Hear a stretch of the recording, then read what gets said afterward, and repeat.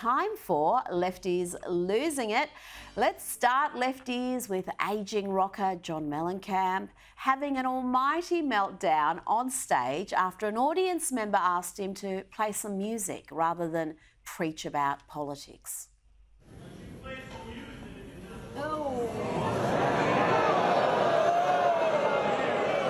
do you think I mean, you sucker? Now, here's the thing, man. You don't know me. You don't know me. Hey, Joe, find this guy and let me see him after the show. Guys, I can stop this show right now and just go home. Tell you what I'm going to do. Since you've been so wonderful, I'm going to cut about 10 songs out of the show.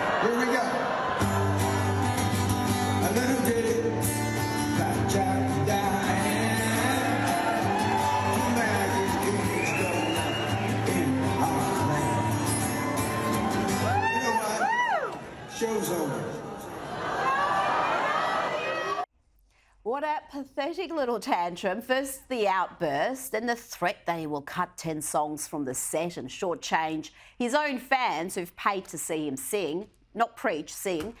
And then he sings for about 10 seconds and runs off stage like a petulant toddler. Now let's go to New York, where Mayor Eric Adams occasionally takes a break from handing over millions of dollars of taxpayer money to uh, illegal immigrants to uh, trot out this favourite line. Everyone knows that New York City is the Athens of America, is the Istanbul of America, is the keys of America, is the soul of America. We are the Tel Aviv of America. New York City is the Islamabad of America, the Zagreb of America. We are the Lima of America. New York City is Mexico City of America. This is the Dublin of America.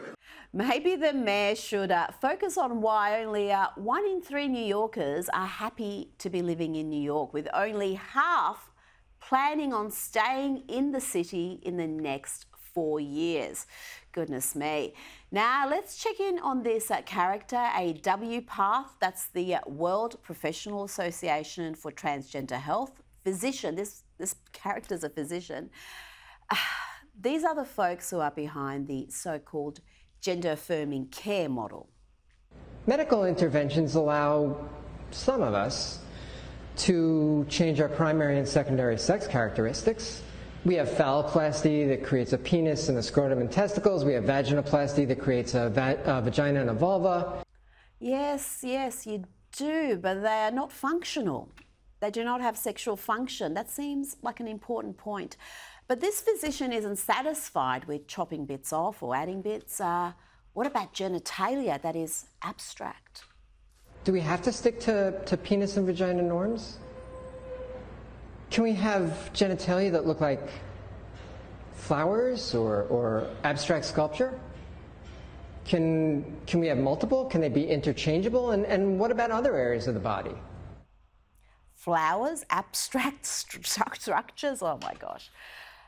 Best I say uh, nothing more about that. Now to a Democrat expert witness who, despite having superb hair, is humiliated over and over again by the superb Louisiana Senator John Kennedy.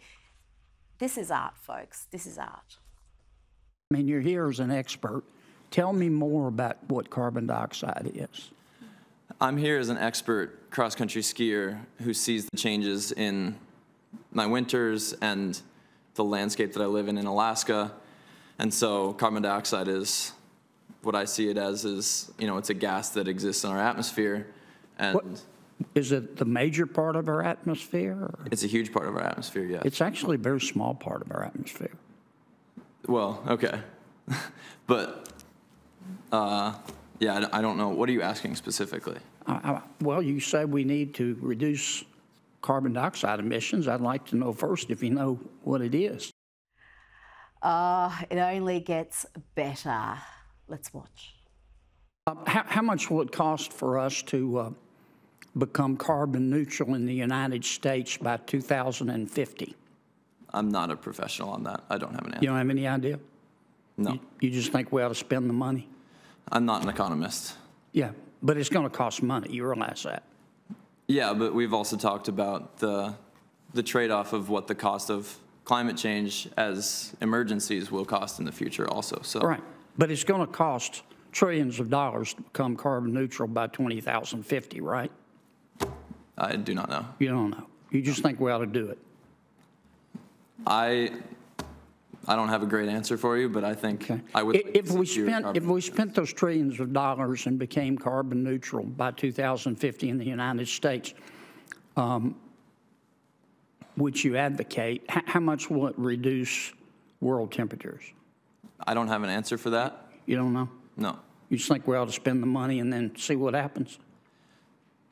I think as an athlete, I think if we spend that money and invest in our future, hopefully those temperatures stop rising and maybe the snow at least stabilizes where it is for me.